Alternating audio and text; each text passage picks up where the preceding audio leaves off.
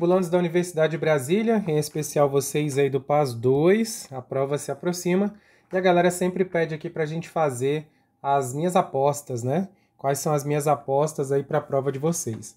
Dessa vez eu resolvi fazer diferente, estou trazendo aqui as minhas apostas, mas além disso eu trouxe para vocês aqui o Memorex, tá? Que é um brinde aí que eu estou fazendo, que vai estar tá na descrição do vídeo aí, um formuláriozinho para a galera preencher e é, poder baixar o Memorex de revisão, tá?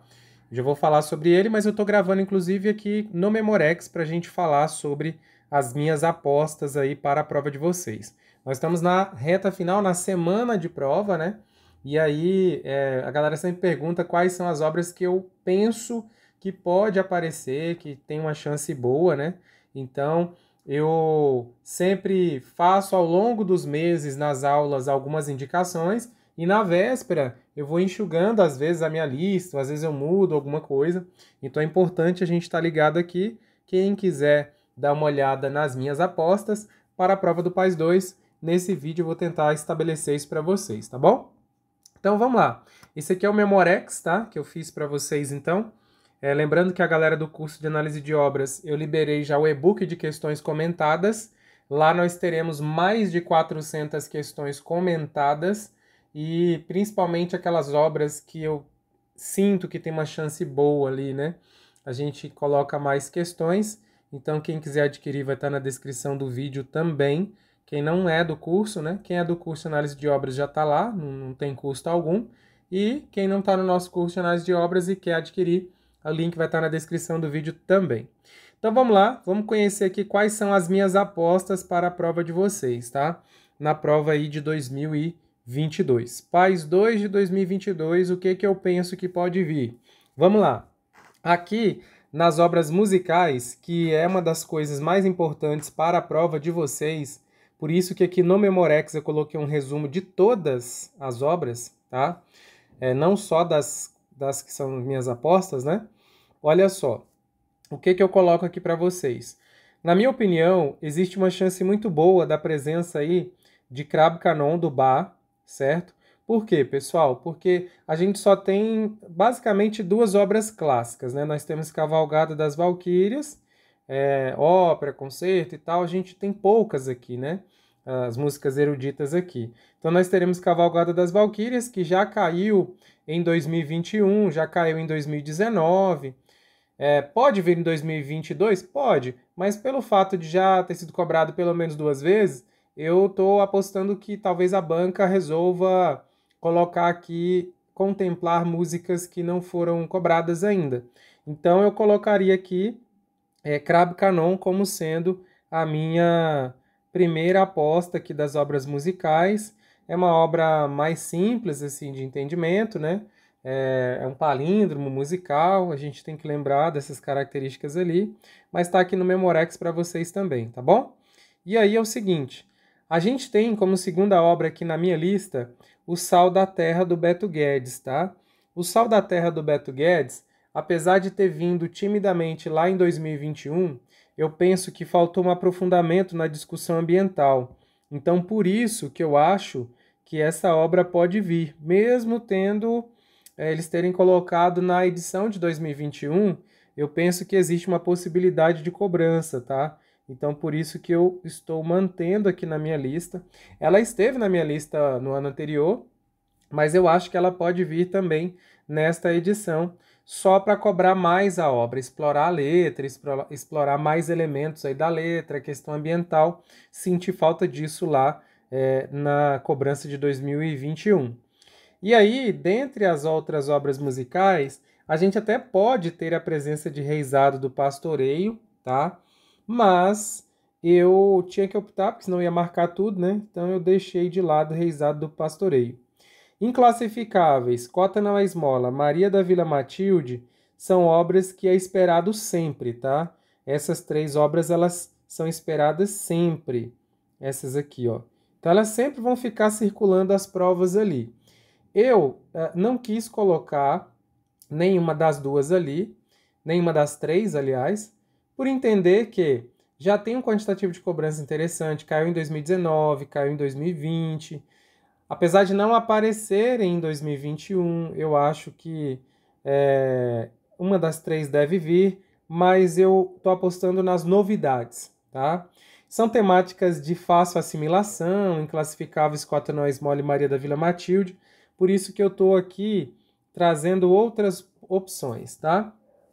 Dentro aqui da nossa listagem ainda, tem capoeira e carimbó. Capoeira apareceu, né? Nós tivemos ali é, a cobrança lá junto com a, a pintura do Rugendas, Roda de Capoeira.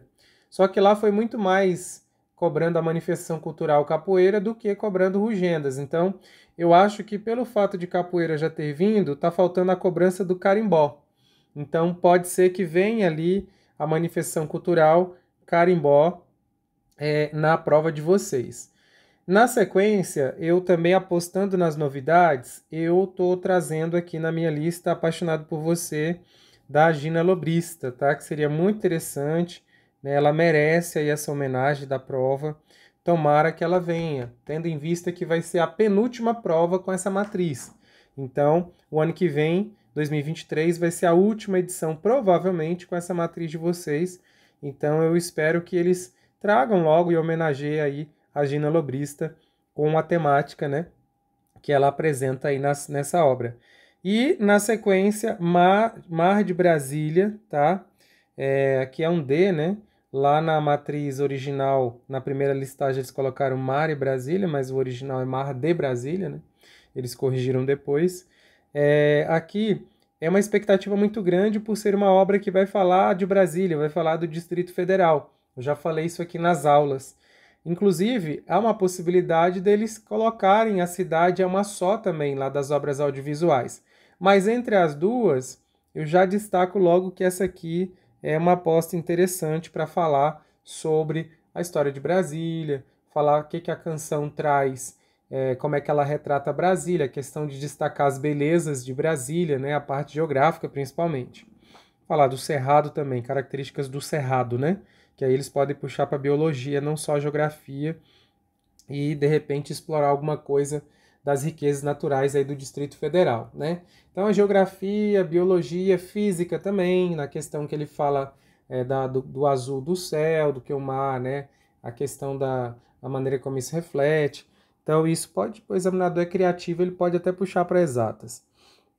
Cabaça d'água do Alberto Salgado eu sempre está na minha lista, mas o ano passado veio, apesar que é, veio bio, em biologia, né? Não veio a obra, a obra em si. Eu senti falta de uma cobrança maior falando da obra.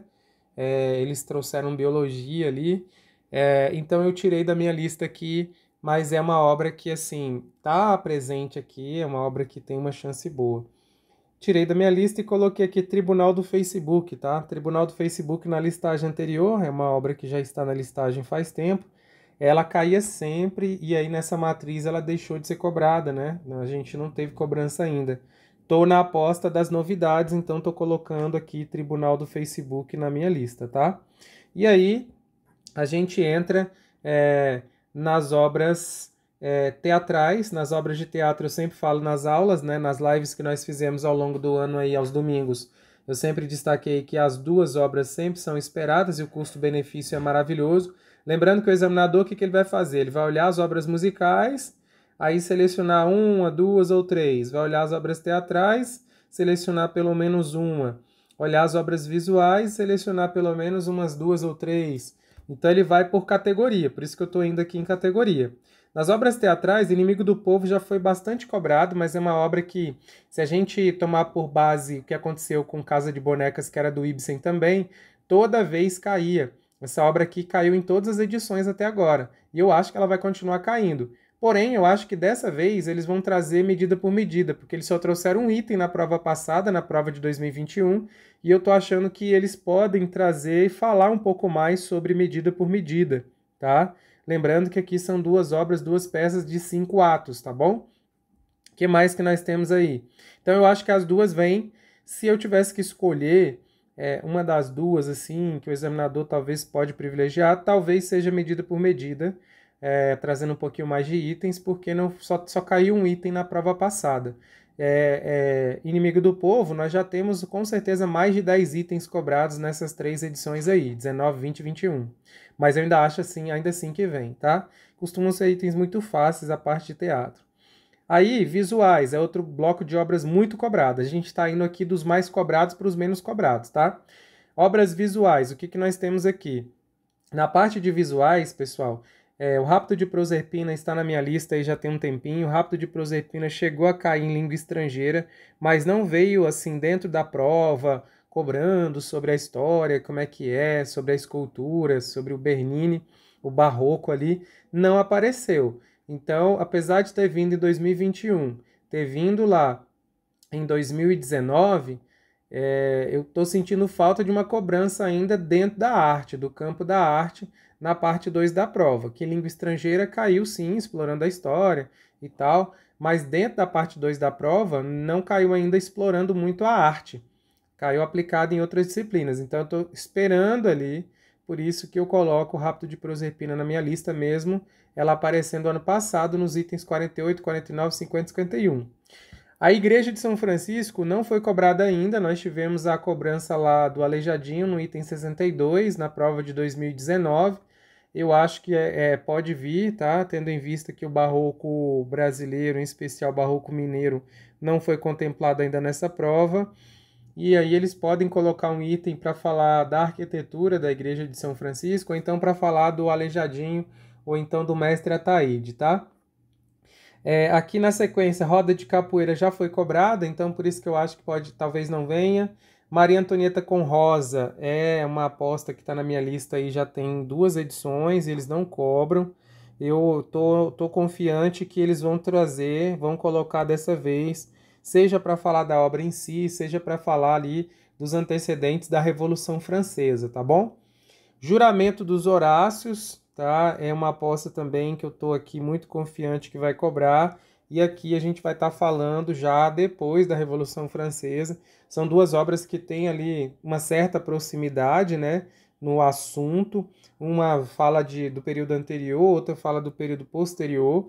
São duas obras bacanas aí para a gente revisar a Revolução Francesa, né? Uma das duas eu acho que vem. Eu tô com elas aqui na minha lista, tá bom?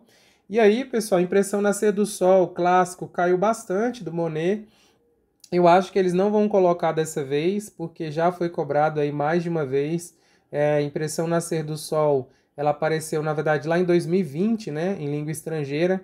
Na parte 2 ainda não apareceu. Pode até ser que venha na parte 2 da prova, dentro da prova depois de língua estrangeira, a partir do item 11 mas eu tenho que fazer algumas escolhas aqui dentro, né? Então eu vou deixar de lado o clássico por já ter sido contemplado pelo menos lá em língua estrangeira. Vou deixar atrás da estação, que curiosamente foi uma obra que já foi explorada bastante, caiu em 2021, caiu em 19, é, que a gente nem imaginava que fosse cair tanto, né? Vou deixar de lado Cartier, que eu sempre apostava nela dessa vez, e vou colocar aqui, ó, o Lautrec, Jane Averill, tá? Eu acho que eles vão colocar aqui o pai da campanha publicitária, né, do cartaz publicitário, né, a litogravura, a litografia. Eu acho que eles podem trazer aqui o Cartier na nossa edição, tá bom? Redenção de Can já foi cobrado, então eu acho que talvez eles não coloquem aí. Já foi cobrado e muito explorado, inclusive na prova de 2021. Talvez não cobrem novamente, então por isso que eu não coloquei. O Goya já foi cobrado lá na 2019, né, na primeira prova dessa matriz. Não acho que eles vão cobrar de novo. Eu ainda aposto nas inovações, então vamos lá para as inovações. Moema, pessoal, é uma aposta importante que eu tenho aí de obra nacional, né? Obra que traz a temática nacional. Essa obra aqui, com certeza, ela está na minha lista. Na, na última edição, eu apostei lá na Redenção de Can para falar dessa questão né, do, do é, é, brasileira, do branqueamento e tudo mais. E, e agora eu estou apostando em Moema, tá? Moema, Vitor Meirelles.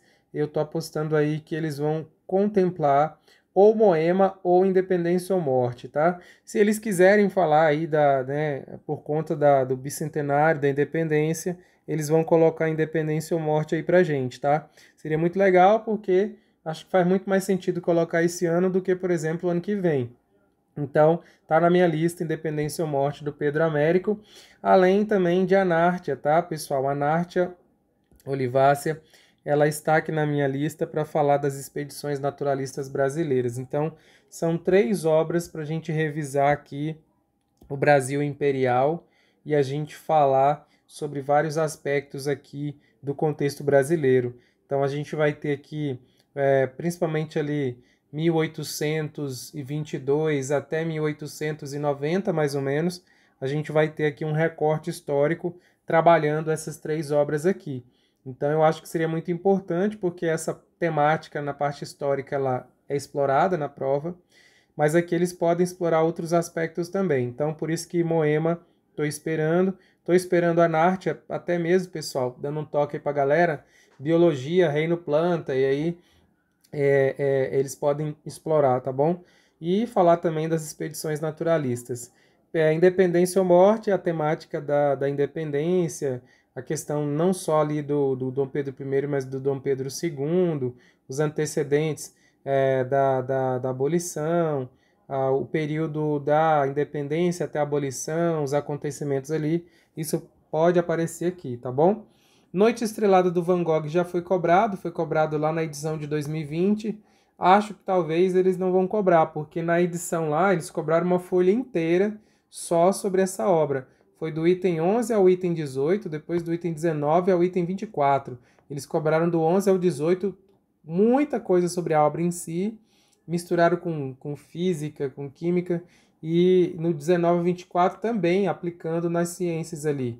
Então talvez não venha, porque foi muito cobrado, mas é uma obra clássica, é uma obra muito bacana, muito conteúdo aqui dentro dela, mas eu penso que eles podem trazer aqui as inovações. Não vai cair esse tudo de obra, tá, gente? Eu tô, tô priorizando aqui pelo menos metade ou menos da metade. Então eu estou destacando as possibilidades, né? E aí, vamos ver o que, que eles vão fazer aí nesse final de semana. Aí entrando nas obras audiovisuais, que é um dos blocos que menos cai na nossa listagem, é, eu estou pensando aí na possibilidade deles colocarem a cidade é uma só, do Adirley Queiroz, para falar de Brasília, para falar dessa questão do contexto da, da, do, da construção de Brasília, né? E, e, e, todo aquele recorte que é feito dentro desse documentário, tá? Então eu acho que seria muito legal eles homenagearem aí é, essa obra. O Christian Mariu ali talvez não venha. É, plataforma de geoprocessamento da FUNAI, já eles meio que é, ensaiaram uma cobrança, né? Teve um item lá no final, o último item da prova tinha um gráfico lá que tudo indicava que seria algo nesse sentido. Mas se cair também é muito tranquilo, porque o que o Ariu traz lá, essa temática indígena, é uma temática é, importante, mas é uma temática que a gente está mais acostumado a estudar na escola, é uma temática mais comum, né? Porque lá no vídeo ele vai apresentar, ele vai falar um pouco dessa, da, dos termos, né? É, das palavras, a questão do uso de alguns termos é, que, que caíram em desuso, que são pejorativos e tudo mais. E alguns dados, né? Da, da, da, das quantidades de etnias e tudo mais. Então eu acho que se cair vai ser tranquilo mas eu estou colocando aqui apostando em outras obras. Então eu vou apostar aqui na cidade é uma só e vou apostar aqui em, em conservar a Amazônia uma questão ambiental, justamente para discutir a questão da Amazônia em 2022, 2021 e 2022 falou-se muito da Amazônia.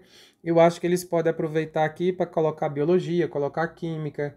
É, então eu acho que eu estou uh, trazendo essa obra aqui.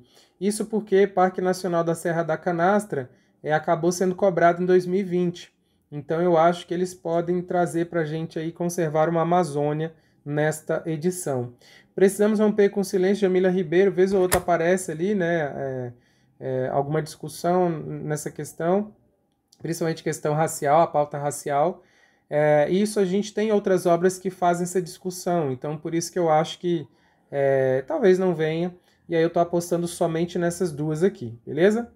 Obras textuais, pessoal, a gente sabe que Machado de Assis é quase que fixo aí na, na prova, né? Sempre a gente tem uma expectativa de cobrança. É, a gente já teve a cobrança de pai contra mãe em 2020, é, e aí 2019 nós só tivemos uma prova, sendo, uma obra sendo cobrada de textuais, que foi Úrsula, Úrsula veio de novo em 2021, O Bom Crioulo veio em 2021, Sonho Africano veio, Meus Oito Anos veio, a Canção do Exílio veio.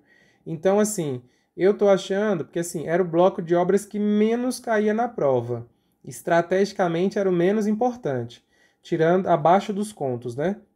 E aí, agora não, agora eles, como eles 2021 eles trouxeram bastante coisa, então aqui a gente pode esperar talvez uma tendência de cobrar pelo menos três. E aí, ó, eu acho que eles não vão repetir o pai contra a mãe, porque já foi cobrado, então eu penso aqui que eles vão é, colocar Igreja do Diabo, ou a cartomante, ou o enfermeiro, apenas um, tá? E aí, se eu tivesse que eliminar um da lista, eu talvez eliminaria a Igreja do Diabo, e, e aí ficaria entre cartomante e enfermeiro, tendendo a marcar o enfermeiro como sendo se eu tivesse que, dos três, escolher um, né? E aí a gente tem as outras obras, que são os poemas, né, e os livros ali, que vão é, discutir e transitar por, pelas escolas literárias, né, pelo romantismo, pelo, pelo simbolismo, parnasianismo, né? Lembrando que todos os contos aqui são realistas do Machado, né? Aí o que, que acontece? Eu vou ter que escolher, então eu fui naqueles menos cobrados. Então eu fui aqui em Marieta, tá? Marieta do Castro Alves está na minha lista, então, meu sentimento de que pode cobrar na prova de vocês, porque as outras aqui de cima já foram cobradas, tá? Claro que a Canção do Exílio eu esperava a cobrança maior de itens, só teve um item, que é o item 68, eu esperava mais itens ali, mas a gente tem que priorizar aqui. Então eu estou colocando Marieta na minha lista, estou colocando o Mal Secreto, tá? E estou colocando Esmalha, beleza? Então Estou colocando algumas obras aí na expectativa de uma rotatividade, tá? Numa mudança ali de obras. Então esse é o bloco de obras que nós temos, que é o bloco de obras das obras mais literárias ali, aquelas atreladas às escolas literárias mais clássicas, né? E aqui a gente tem o Kant, que aí aqui já foge um pouco, né? Aqui a gente já tem uma obra mais atrelada à filosofia. O Kant eu sempre aposto nessa obra, né? Então aqui eu continuo apostando nela. O Kant foi cobrado em 2019 e eu tô achando que ela vai retornar aqui na prova de novo, tá? E aí embaixo, nos textos livres, nos avulsos ali, que são artigos e reportagens, aqui já é, é bem aleatório, né? A gente tem, sabe que a desobediência civil do Torro sempre tem uma força maior aqui de presença, por isso está na minha lista. E aí, mesmo já tendo sido cobrado aqui três vezes já, mas eu acho que pode vir novamente. E aí a gente tem que escolher alguma dessas aqui, né? Um olho na ciência, o outro na indústria já caiu em 2020, talvez não venha. É, Constituição não costuma cair, texto da Constituição costuma cair, talvez isso aqui mais para você fazer uma leitura melhor de alguns pontos dos direitos sociais. Declaração é, Universal dos Direitos Humanos também, eu acho que não deve vir muito ali a literalidade, é mais uma discussão, você tem que ter noção do que, que é. Museu Nacional, pessoal, é, existe uma possibilidade uh, de cobrança, mas eu acho que já passou um pouco esse período né, é, é, da discussão aqui. Não, não faz sentido para mim a presença tá, dessa obra aqui. Claro que aqui sempre é no achismo e na minha experiência, né, eu não sou examinador, eu vou aqui sempre no meu chute, né? Rompimento da barragem de Mariana, eu acho que faz muito mais sentido a presença, tá? Apesar que já foi cobrado, né, lá em 2020, mas é um assunto, pessoal, esse assunto de barragem, de questão ambiental, isso sempre está em voga, né? Esse, 2021 e 2022 a gente continuou tendo é, iminências aí de outros acidentes, alguns não aconteceram, desabamento por questão de enchente, de chuvas e tudo mais, isso sempre está tendo, né? Então, é uma obra que pode retornar, certo? E eu tenho que escolher um desses artigos científicos da revista FAPESP, entre o olho na ciência, eu vou aqui, é, entre o olho na ciência e onde as cientistas não têm vez, eu vou onde as cientistas não têm vez, principalmente para discutir a questão da mulher na ciência, tá? Então, tem essa possibilidade aí. Lei Maria da Penha foi cobrada em 2021, talvez não venha, até porque tem a música Maria da Vila Matilde já para discutir sobre isso aqui. Então eu ficaria com essas três obras aqui na parte dos avulsos, tá? Então aqui, ó, três obras na parte dos avulsos essas quatro obras na parte dos textos e aqui em cima a de visuais, né? Eu tenho aqui é, metade das obras, né? Estou indicando aqui metade pelo menos e aqui mais ou menos metade nas musicais, né? Lembrando que Inimigo do Povo e Medida por Medida eu coloco todas elas, o custo-benefício é excelente. A gente precisa revisar esse grupo de obras aqui porque é muito tranquilo, tá bom? Então tá aqui minhas apostas para a prova então é, do PAS UNB do, do, do PAS 2022, do PAS 2, né, 2022. E aí, pessoal, vou deixar para vocês aqui o Memorex, tá? Para quem quiser, é só preencher o formulário e no final, né, marcar o link ali, né, pegar pelo link lá, baixar o documento e fazer a revisão. Aqui eu tentei extrair as coisas mais importantes que eu penso e daquelas obras que eu indiquei aqui que são as minhas apostas, né? Eu tentei extrair aqui as, as principais informações que eu acho que você precisa saber, tá bom?